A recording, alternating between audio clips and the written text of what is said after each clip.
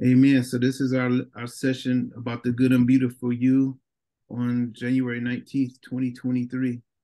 So in let's see, I know um, Minister Ted hasn't yet had a chance to get the book or review it, no problem. Um, and I'm not sure Courtney and Tara if you guys have picked up the book or, or not. But the, this first section um, discusses how we all have a soul so did he? did you get to look at it at all, Tara? No. I still have to purchase it. Okay, no worries. That that gives me a, a note, you know, to know where I'm going.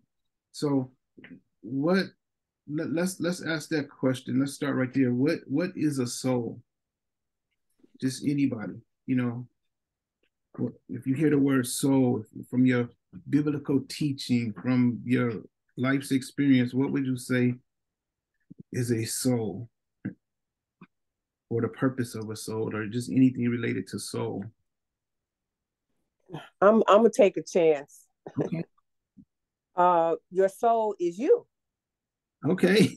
I like your, that. um I mean, you know, um feelings and you know, feelings, emotions that make you up. I Yep, your character. Yeah. yeah. Your thoughts. Yeah. That's great. You know, I think I think all of those are are very descriptive, um, accurate terms. You know, like that that that thing that makes you you that can you know connects you to God. Let's let's let's put it you know with a with a God reference. So what I did, you know me in the in, in the videos and such. I, I, I have a short, like I think it's um three minute video.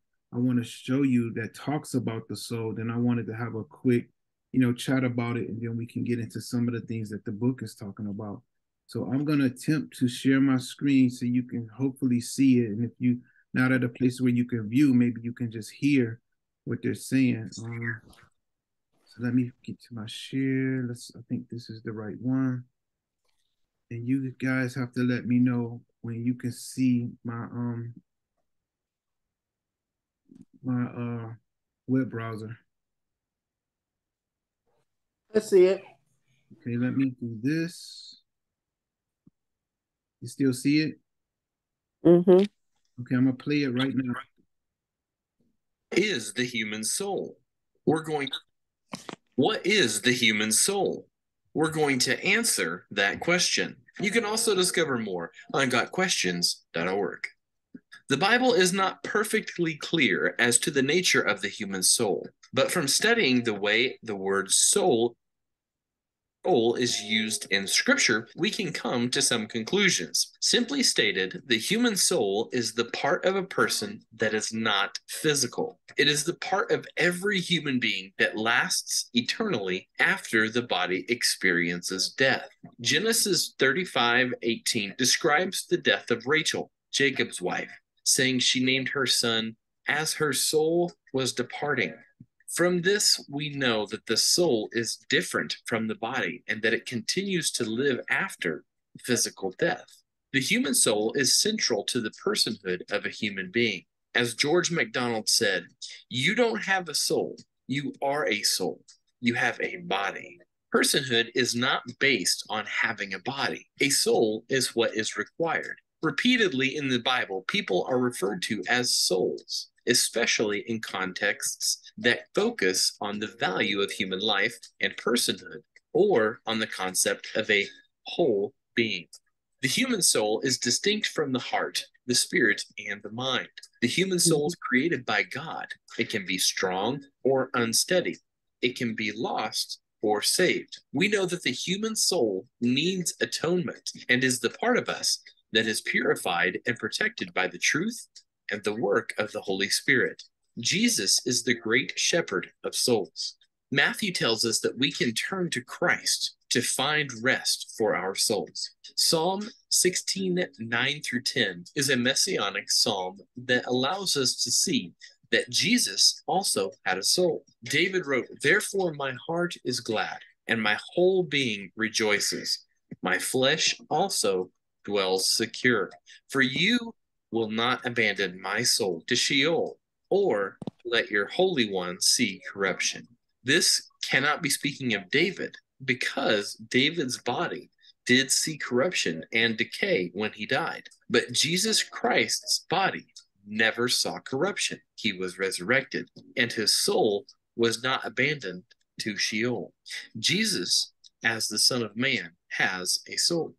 There is often confusion about the human spirit versus the human soul. In places, scripture seems to use the terms interchangeably, but there might be a subtle difference. Otherwise, how could the Word of God penetrate even to a dividing soul and spirit? When the Bible talks about man's spirit, it is usually speaking of an inner force which animates a person in one direction or another.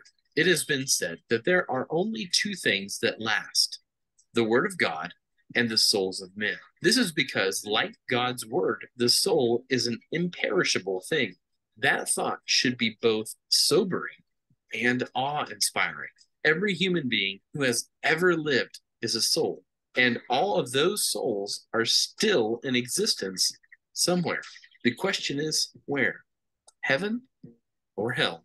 That answers the question what is the human soul? On our website, gotquestions.org, you'll find a deeper discussion and recommended resources. If this helped you, give us a Okay. Was that helpful at all? Yeah. I, I really like that you made it plain that our souls are are everlasting if we want to look at it that way and our bodies are temporary that we're we're a soul with a body as opposed to how how we often are interpreting it is that we're a body that has a soul. So i think if, if we really look at it as we are a soul that has this temporary body it kind of makes our existence take on a different um a different likeness a different format where we can understand that this this existence is this current existence for us is is really just a temporary thing you know but our, as, as was noted by the author of the video you know our, our souls will last for eternity. Um and so it's that thing that you know that part of us like you you all mentioned the the character and the feelings and the thoughts and all, all of those things those things that are us but and the soul connects us connects us to god. It's not the physical being. It's, it's the thing that lives on after these physical bodies dies um these bodies die so just knowing that you know how does that make make you feel thinking about a soul you know from either from what you um, gathered from the video or just our discussion so far, what does that make you feel about your your soul?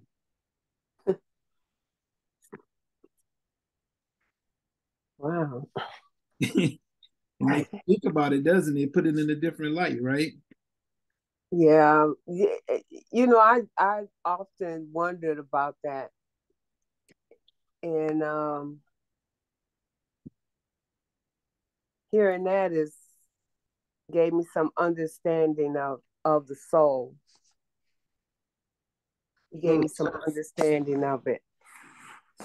Look at look at this, Minister Tut, and, I, and I hope I'm not about to say something that's gonna make you sad, or, or I hope it makes you you glad. But you know, I know you I know you love your brother love your brother immensely, and I know you miss your brother immensely. I see the post every once in a while, and especially around his birthday time and stuff but it, it has to take i hope it gives you some comfort to know that yes physically that body you know he's left that body but he's mm-hmm. still existence he's he's he's he's he's prayerfully in, in the bosom of christ and just sitting at the foot of jesus right now you know it's it's just all of those things that should should be able to give us joy you know even though our, our loved one might not be here right now you know it, it made me think about you know my mother you know who's been passed away now for for what almost yeah. nine years now, and and how I, I miss her immensely. But it gives me some comfort knowing that yeah, I can't see her, I can't go to her house,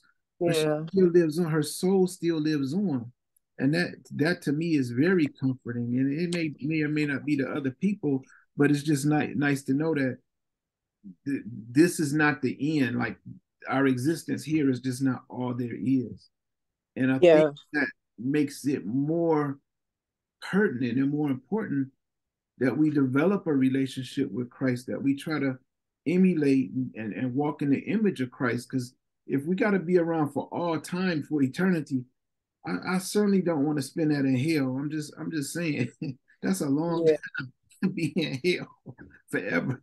Yeah. But I cut you off. I'm sorry. Go ahead. No, no, I I was disagreeing with you. You know, when I say I miss him, I I I I uh I miss his presence, if that makes sense, you know, because we were so close and we did things together. But um I know I'm gonna see him again. I know it. Right. You know, I do. I know I'm gonna see him again, but I think sometimes I do. I get impatient, if that makes sense.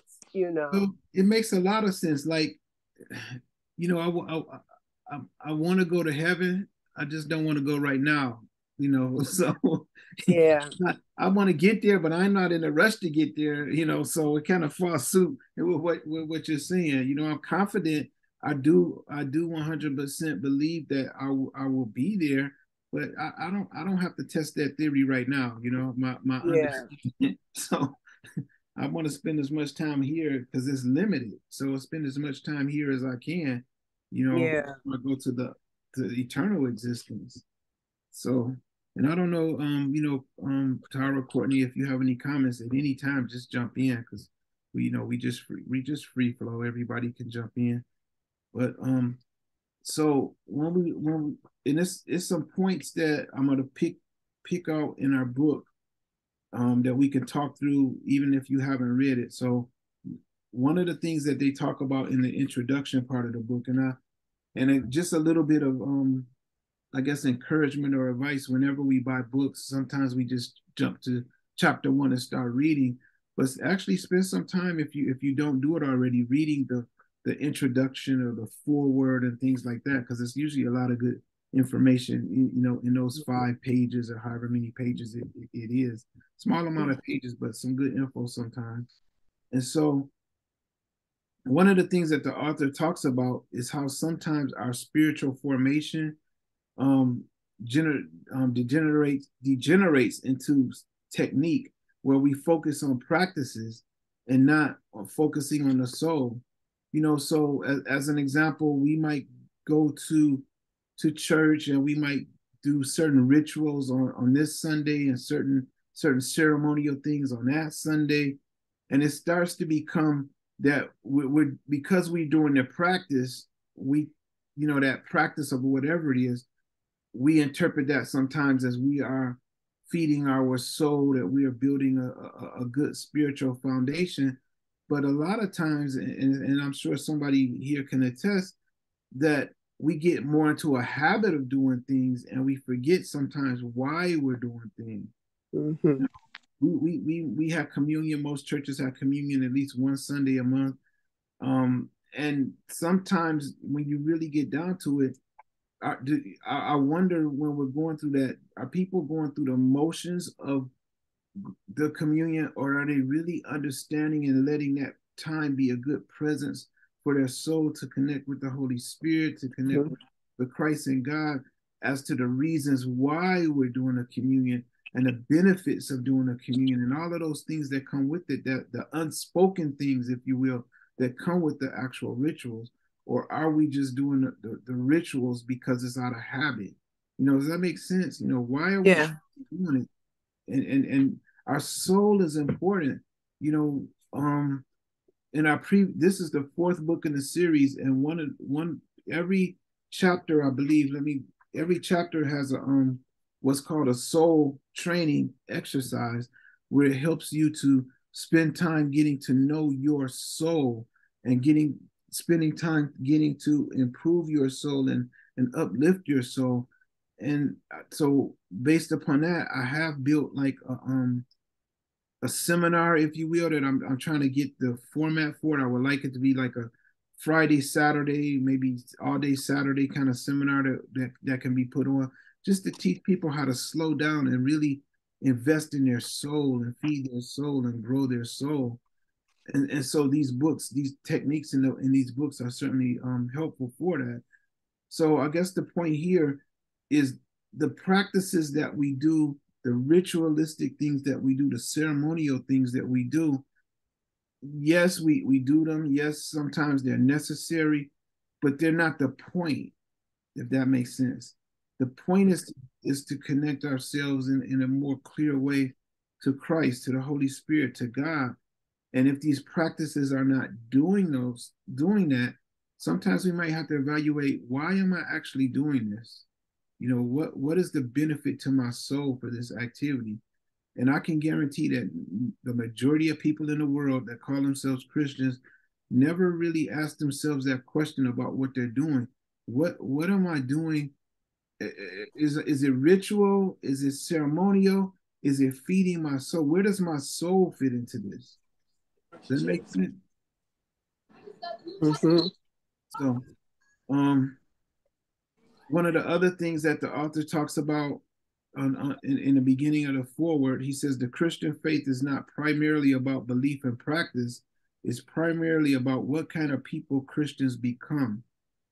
And that to me signifies that, you know, we should be changing into something. We should, on a, uh, you know, be something visibly, tangibly different as our journey progresses we should not be the same persons we were when we started our Christian journey as we are today, especially those of us who've been walking this walk and on this journey for a long time. You know, I can say that for somebody, you know, who may have um just started, but over time we we should change. And, and you think about this, somebody that, you know, we've all we've all started new jobs at some point in our life, right? And when we when we start those jobs, we come in not really knowing where things are, what to do, how to get it done, what's really expected. And they usually give us some sort of mentor or some processes that we can follow to help get acclimated. And as time goes on, we find ourselves having to rely on those crutches, if you will, less and less because we've internalized, we've we've started to connect, we've started to grow in that position. And so, but are we doing the same thing with our Christianity? Are we are, are we growing our soul in that case that, that's going to help us to become better better images of Christ, um, to to to really emulate uh, what Christ stood for and what what we should be be standing for. And so I guess the ask there is that we all look back over our lives and really assess because it's an individual thing. Am I where am I where I could be in my growth? am I where I should be in my growth? And what I, what am I going to do to help me to make those changes that are necessary so that I can grow or continue to grow? Because none of us have arrived. You know, none of us um, have have gotten there. No matter how far along in the journey we are, unless we're Christ, we still got a lot of work to do. You know, as long as we're human, we still got a lot of fallacies and issues and challenges. Even on our best days, the Bible teaches us that wears filthy rags. So we, we we we have to always strive to do better and move forward. And and part of that is is making the time the time for our souls. Amen. I see Minister Sarah is here. Amen. Um, another thing that the author talks about, and again, you know, I'm just hitting some points that I saw in the book that were really, I thought really interesting. So any you all can jump in at any time. But another point that I saw was God designed us with a deep longing in our souls to be wanted, to be loved, to be mm-hmm. alive, and to be connected to God. Can, can we can we relate to that? You know, really, we we all want to be we, we all desire to be wanted. We all desire to be loved. We we want to be alive, you know, we and we want to be connected to God. Those are things that that give us, you know, great should give us great joy in our lives. You know, in Christ, we are all of these and more. And when we live in this reality, we become the unique person that God created us to be. You know, you know sometimes we we walk a walk where we say that we're unique or, or we say that we're great and all of these kind of things, but are we really becoming the person that God created us to be? And we can't be the person that God created us to be if we're not in tune with, with Christ, if we're not in tune with the Holy Spirit, You know, we might we might do some quote unquote great things that the world recognizes and great things that give us rewards and accolades of men and things like that. But the greatest thing that we can do is become that image of Christ where we we share the love of Christ with all. And that includes those that we love and those that we might not like so much. Yeah. Do do great by us and those that, you know, might not treat us so well. We we gotta we gotta love souls. A soul has to love a soul. Does that make sense?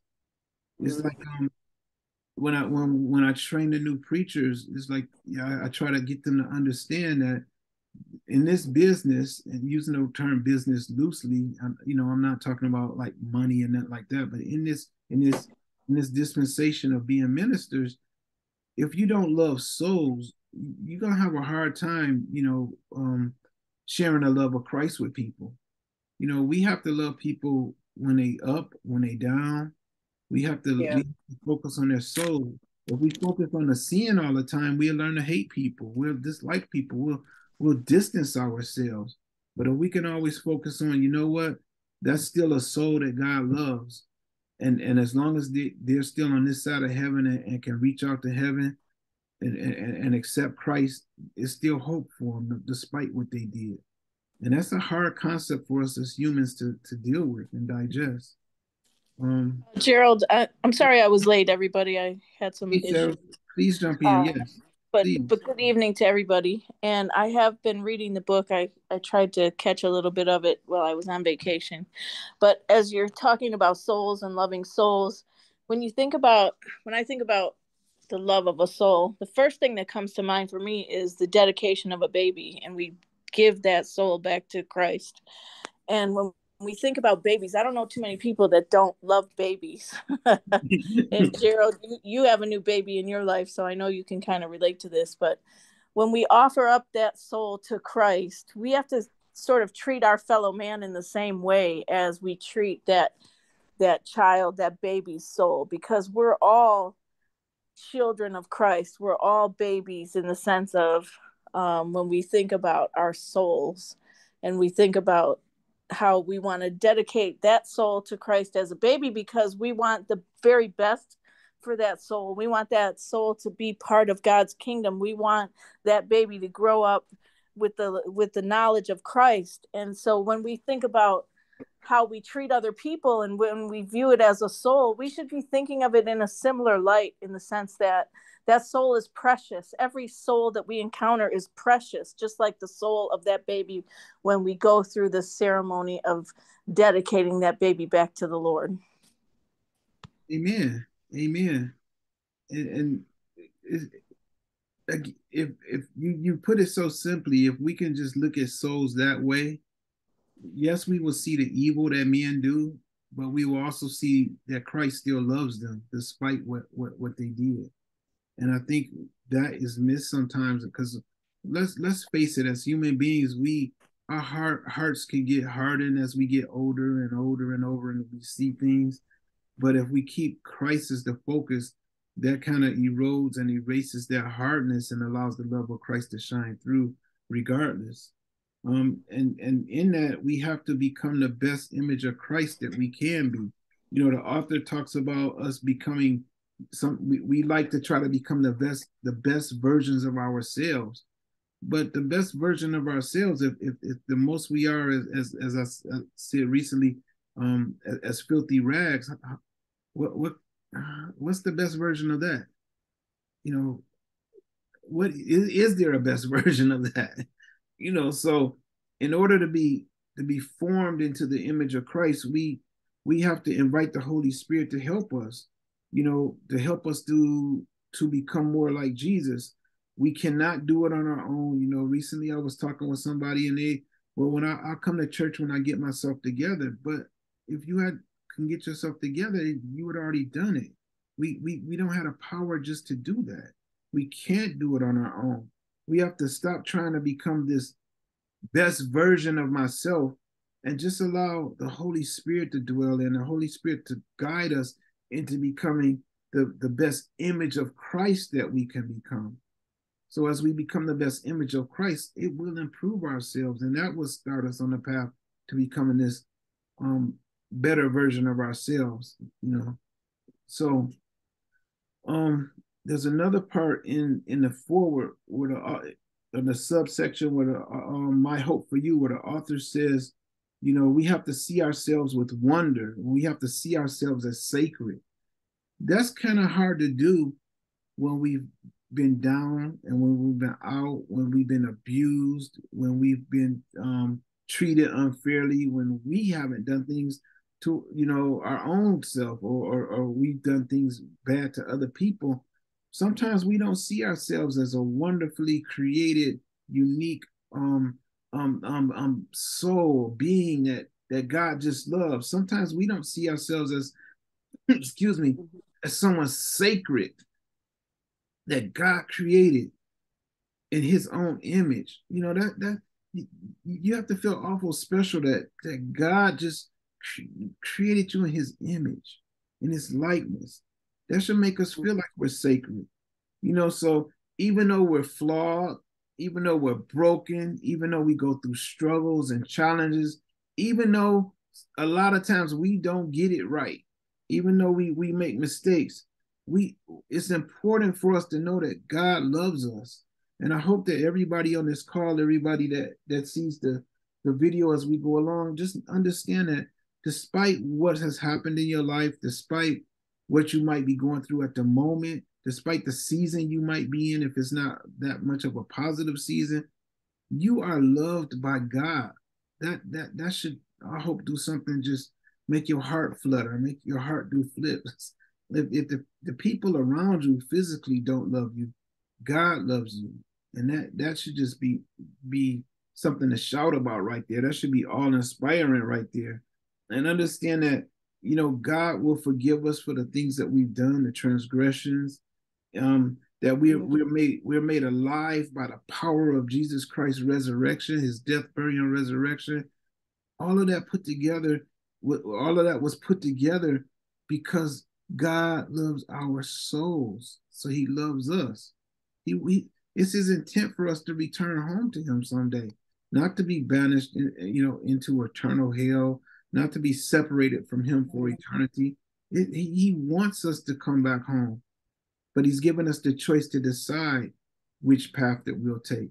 And don't think for a moment that it doesn't grieves God, grieve God's heart when people decide, you know what, I don't want to go to eternity with you. That I, I just sit sometimes and just imagine how how hurtful that must be to God. That something, someone, a soul that He created makes a decision that I, I don't want to come back home ever. I'd rather go to the dark place. But that's how my mind works. I just sit and think about that kind of stuff sometimes. So as we see ourselves, as we come to see ourselves as a unique and important and loved by God, guess what? We have to see our neighbors as the same way as sacred and loved by God and I notice sometimes that that is hard. You know, um, it's it's so many people, this you know that we love and we get along with, but there's people that we disagree with, whether we disagree with them um, socially or politically or or or culturally or any kind of kind of disagreements. No matter if we agree with them or disagree with them, guess what? God loves them. Mm-hmm. we're supposed to love our neighbor, that doesn't that mean that despite how we had those disagreements, we should still love them? You know, they're worthy of our compassion. They're worthy of our kindness because we are all um, from divine origin. Does that does that make sense? Does that help?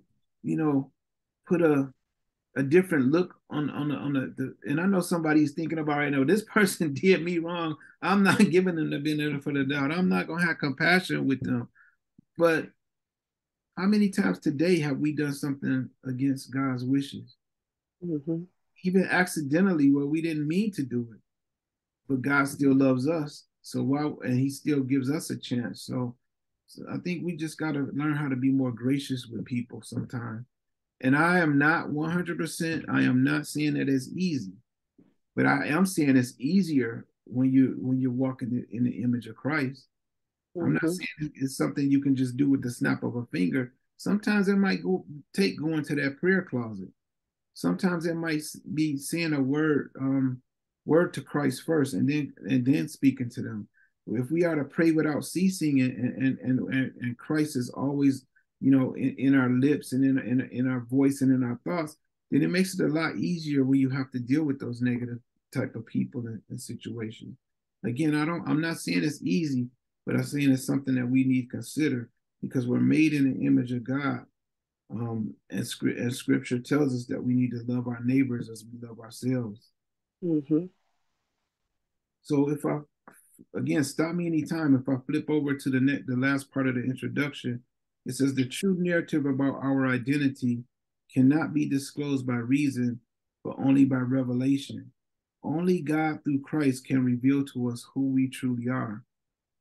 So what is that? What what what comes in your, your heart when you hear that only um God through Christ can reveal to us who we really are? What's that what's that say to you? What's what what does that stir up in your spirit? If anything. Mm-hmm. Say that again, Gerald. Yep, I'm gonna say it again. So, so let me go back. I gotta flip back. So only God through Christ can reveal to us who we truly are.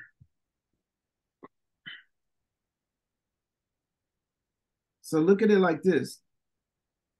Sometimes our image of who we really are, who we believe we really are, is made up by other people, right? Some people think we're this, some people think we're that.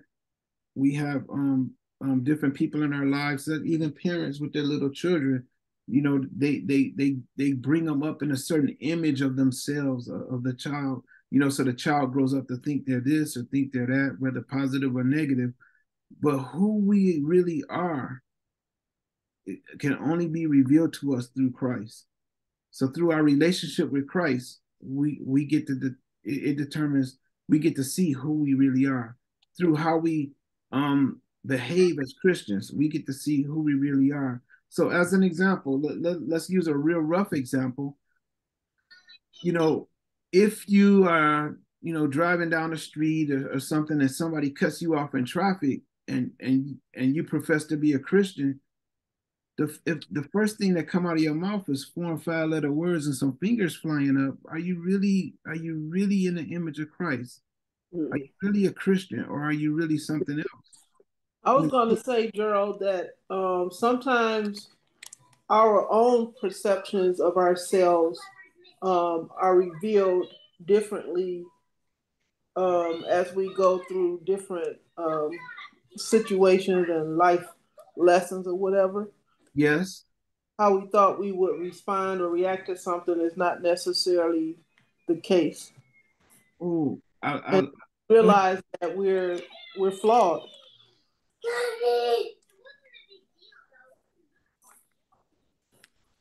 You finished your thought. I don't want to cut you off. Okay, so I really, I really like that you addressed that because sometimes we we have we believe we are a certain way, right? And then something can happen, and the way we respond is not necessarily how we would have liked to respond. It just it just happens, and that if that's if if it comes out as a negative response or it's something that we feel ashamed about, guess what? That gives us something to strive for. We can repent of, of what of how we responded. We can ask um, the Holy Spirit. We can ask Christ to to give us more more direction and discernment in that particular area. We can mm-hmm. pray and tarry for change in that particular area because there there's a lot of times, and I don't have a concrete example, but I do know that it happens where where we think we're one thing, but uh, something something come up in our life and it reveals to us, not to everyone around us, but it reveals to us that we might not be who we thought we were. You know, so I'm I'm not trying to take your statement too far, Tara, but that that's it. Just it, it was so powerful to me when when when you said that. You know, are, are we being honest with ourselves? Do we know ourselves? and I, I would reason to believe that even even in that it, it it takes a while for us to really know ourselves through Christ because it it really takes a while to truly get that image of Christ start to build up in our system through through through our different learnings and practicing what we learn and studying and and things like that. So I think that was a really good um just a just a good comment. Um and I think with that it drives us to one key one key point that was made in in the first chapter in the beginning is that you have to take care of your soul. You have to each person is responsible for taking care of their own soul. So let me throw that out there. How can we do that? What are some ways that we we can take care of our soul and there's no wrong answer or right answer i'm just looking for what you guys think how can we take care of our soul and even the author said initially you know i have no idea what that even means well that's part of the purpose of the whole book is to, to get us on that path. You know, we got a whole bunch of pages to go through, 200 some pages that's going to help us to define and answer that. Um, he talks about um, there was a some grief and unhealed trauma that that he had suppressed, and when we have grief and un, un, untreated trauma in our lives, you know, sometimes that can can impact us and affect us and you know, dictate how we respond to things, how we do things, and, and that sort of a thing. Um, he talks about how he simply lost joy and was suffering in silence. And he made the common mistake of thinking that doing work for God was more important than caring for his soul. That, that can be a controversial statement on the surface, but if we pull it apart, we'll see that it's not. So he said he made a mistake of thinking that doing work for God was more important than caring for his own soul. And so what that what that look at it like this, if he's doing all of these things under the under the guise of I'm I'm, I'm doing what the Lord asks, but he's not even taking care of his own soul, really can he be a, a good effective vessel for the Lord to use? If his vessel is corrupted, if his vessel is not fed, if his vessel is not kept whole, if this vessel is not kept clean, really how effective at the heart level is the work that he's doing for God? Is he going uh, at that point? Are we going through rituals? Are we going through ceremonial things? Are we doing things to to you know? Because just because you're being busy doesn't mean that you're doing the right thing. Just because you're being busy doesn't mean that you're right. You know, if, if that makes sense. So we got to take a step back sometimes. And it's an old adage that you can't help somebody until you help yourself, you know, meaning make sure that you're in a good place. Make sure you're in, in, a, in, a, in, a, in a right place before you start giving so much of yourself that you have nothing left. Um, you know, he talks about the, the grief of unhealed trauma and sadness and so forth. It's a lot of people that are walking around, you know, depressed and they're hiding it, mm-hmm. going through all kind of mental and emotional, financial anguish, and they hide it. And when you see them, they say, "I'm blessed and highly favored. I'm walking with the angels. God is with me. There's nothing wrong." And then when they get out of your presence, they they they get really sad and they're crying and then their soul is reaching out because of the devastation that's in their lives at the moment. So they anybody can put on a face and show us what they want to see but we got to love people enough that our souls can connect and say, you know what? It's something not right there. You know, Lord, help them. And we start praying for them. Because the people are really um, reluctant to share what they're going through. They're reluctant to reach out and ask for help. And especially there's there's a contingent of people that really just refuse to seek any kind of counseling and things like that. Like it's a taboo but but it's okay to see a counselor if we need it. It's okay to ask for help. It's okay to work on yourself as you try to help others and work with others. That's okay. We have a wonderful human soul, but that soul needs some care sometimes. It's just like you, you know, you might have a car. Every so often, doesn't that car need to be serviced? That that mm-hmm. car that car's not gonna get you where after a while if it just keep you keep washing it and it looks clean and it looks nice and it's shiny and the, the tires are nice and everything, but it just breaks down one day because it's never actually been serviced. This on the surface it's been clean, but inside there's something not working right. Inside that that check engine light is coming on and we we ignoring it and we not getting the help that we need. So you might want to take that car and give somebody a ride to an important appointment, but because we didn't service the car, it might break down on the way to helping that person. So again, until we helped ourselves maintain the car, we might put ourselves at a disadvantage to go help somebody else. That make that make sense? Yes. It's a decent example.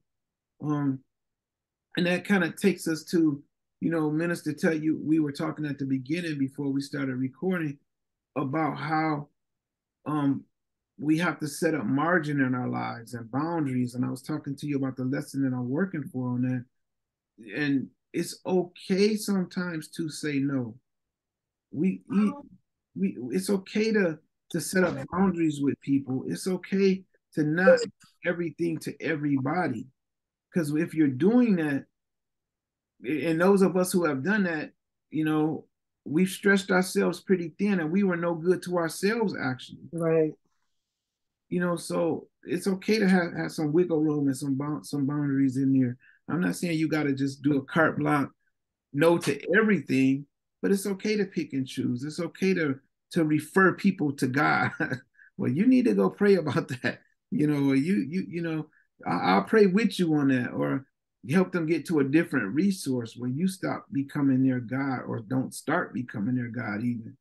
You know, so so so just just looking at like that's part of soul care. That's part of saying, uh, you know, where the where the boundaries are in your life. Um, let's see. So I want to. It was another point on this page I was looking for.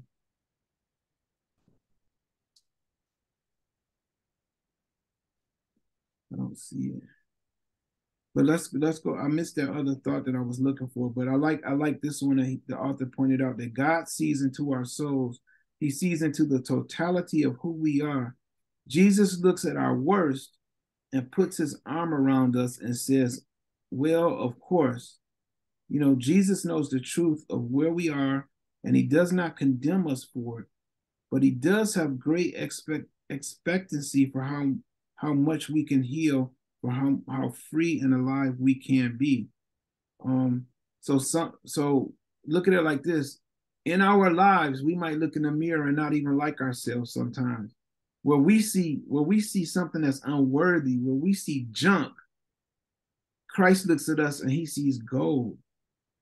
Mm-hmm. You know, we might not feel worthy sometimes. We might not feel like we did our best. We not we not not um, might feel that we didn't make the right choice or the right decision or what we did was unforgivable or all of these negative things. But even in all that, when Christ looks at us with the with the love of Christ, he sees gold. I want I want you to remember that, you know, the next time you find yourself in a situation where you might not be feeling the best, where you might not be feeling like you did the right thing or made the right choice or you, didn't do the right thing or say the right thing or weren't at the right place at the right time, you know, don't beat yourself up. You know, recover from it. It's okay to get knocked down. It's not okay to stay down. It's right. okay to fall down. It's not okay to stay down. It's okay to sit down. It's not okay to stay down. Down is not a place where we want to be, is, is what, what I'm mm-hmm. getting at. Through Christ sees us as, as such such glory. He he understands our worst, he, but he still puts our arms around us and says, "You know what? I love you. I know you what you didn't do was right, but I still love you. I know what you say was right, but I still love you." And one of the ways that we can bridge that gap and, re- and, reestablish that what we would feel is a broken connection is the tool that Christ gave us, that God gave us, which is repentance is to earnestly and honestly, you know, ask for forgiveness and and do what we can um, on our part to make it right. Mm-hmm. You know, because no matter what, you know, we're seen as such something so glorious and unique through Christ. And I don't want anybody to ever to ever ever forget that. Um, bef- I, there's another section I wanted to talk about in the first chapter about how our souls want life, but that's going to take us well over the time that that we had allotted because I really want to keep us to to an hour. Um, so I'm gonna stop right there, and for those of you that had a book, I'm gonna pick up on page 12 next time. But I wanted to stop because I, I like to want to go around the room and just if anybody has any comments or concerns or or feedback or just anything about the lesson that they want to share or something that they might be interested in talking about next time so I can prepare it. You know, just just this is the time for that. So I'm going to start with going around clockwise from what I see on my screen. I'm going to start with with um, Minister Tut. Any any feedback you like to give for the lesson today, and thank you for making time to join today. Uh, I was just sitting here thinking um, about myself and some things that um, within me. And this, this year, I have been praying and asking. Well, I prayed and asked God to give me a quiet spirit to, um, you know, sometimes I, I'm too opinionated. I'm outspoken, and um, I pray and ask Him to give me a, a um, a quiet spirit to just listen. You know what I mean? Just just listen. Don't speak. And um, you know, I'm a, a crossing guard for the, the kids at school. Nice. And I was standing, it sounds funny because I tell Martin, you know, I'm standing there on the corner. that don't sound right, but anyway, since I went since I've been standing there, he just been giving me things, and so the other day, um, I was thinking about something, and he said, um, "Be still and know that I am God." And mm-hmm. when he said that to me, I don't know. I visualized something. I don't know, but um, and then I said, okay, okay, Lord. So um, I'm I'm just really, I, I I'm just the understanding of the soul, you know, because I was kind of confused about the soul. I really was, but I understand it a whole lot uh, of what you said today. Amen. Amen. And this, I, this is a good lesson. I'll send you um I'll I'll send you the link for the to the book again so you can you can get that and then I, I'm gonna when I put the video on YouTube I'll put it in the description there so you, you know anybody wants to click on that link. The, the the name of the book will be there too. Yes, it's called The Good and Beautiful You Y O U. So I'll make sure you get a um, link to it. No problem. Okay. okay. Um, let's see. Courtney dropped out. Minister Sarah, any comments for today? Thank you for making time to, to come on. Uh, just to say that I'm excited about uh, a deeper dive into the good and beautiful self because I think we sell ourselves short in Christ. You know, we are new creatures in Him, we are made in His likeness and image. Our souls are precious to Him, and our which means our lives, our actions, our daily bread is precious to Him. So I'm looking forward to not only digging deeper within, but once you get within, how does that affect those around you? So I'm I'm looking forward to the study, and I thank you for your uh, continued efforts. Amen. Thank you. Thank you. Um, Tara, any comments today? Thank you. Okay. Juju got any comments? You good, Juju? Say hi. Hi. Hey, that's, Juju. That's all you gonna get. okay, that's cool. I I take that. I take that. Amen. So let us um have our, our closing prayer. I'll do that, and then we'll we'll meet again in two weeks. I'll make sure the links get out there and all of that stuff, and we'll just carry on with it. I'm not at all trying to trying, trying to rush through this book. I think we we did really well in the past where for this particular author where we just took our time because it was so so much to just get out of these these lessons that he has and the books that he has. He writes in such a way that that we all can get something out of it. So, you know, again, make sure you get it, and then that way, um, there might be some things that I I see in the in the text that I wanted to talk about, but you might see some other things, and we can certainly make sure that we address those because I don't want anybody to to not have their their um things that stick out to them, you know, not have those discussed. So, Father God, we come before you right now. We thank you, Lord, for this Lord's Day. We thank you for allowing us to have a, a, a really good session on today. I pray, Lord Jesus, that something was said in here that helped someone, that uh, encouraged someone, that uplifted someone. I ask that you bless us until such time as we meet again. And I ask that you allow us to get to gain more and more information and knowledge to feed our soul that we might become better images of Christ and better citizens for the kingdom of heaven. We thank you, Lord. We bless you for your grace and your mercy that you continue to bestow upon us. Please cover and keep each of us. In Jesus' name we pray, Lord. Amen. So I'm gonna stop the recording, and then um, if you anybody needs me, just reach out and uh, put some notes in our GroupMe, and see you in two weeks. Bye. Bye. All right, then. Have a good day. Have a good day. Love you all. I love, love you too, Daryl.